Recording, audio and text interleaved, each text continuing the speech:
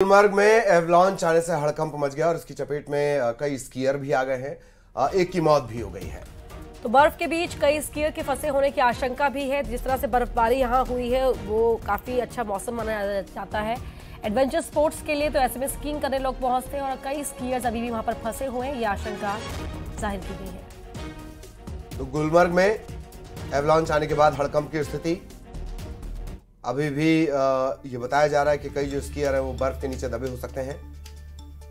एक स्कीयर के मौत की खबर है, जबकि कई और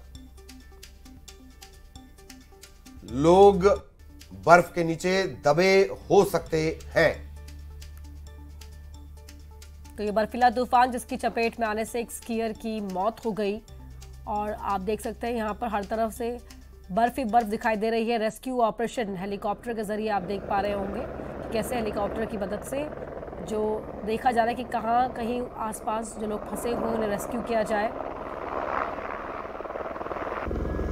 और लॉन्च आने से ये हड़कंप यहाँ पर मचा। स्कीइंग के लिए लोग इकट्ठा हुए थे, जो स्कीयर्स हुए थे, वो इकट्ठा थे यहाँ पर स्कीइंग करने के लिए।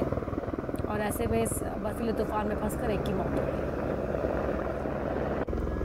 और बाकायदा जो रेस्क्यू ऑपरेशन है, उसके लिए हेलीकॉप्टर की मदद ली जा रही है। न्यूज़ 18 मध्य प्रदेश छत्तीसगढ़ पर एक्सक्लूसिव तस्वीरें इस वक्त आप देख रहे हैं।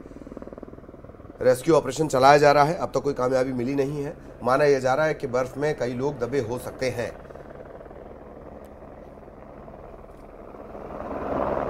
एवलॉन्च की चपेट में कई स्कीयर आए।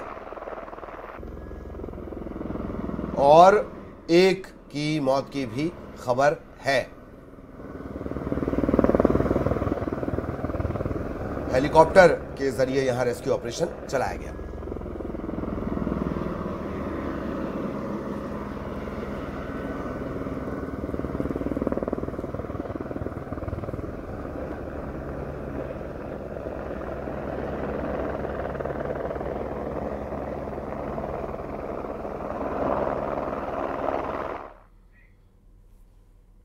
यहाँ रुक रहे एक छोटे से ब्रेक के लिए।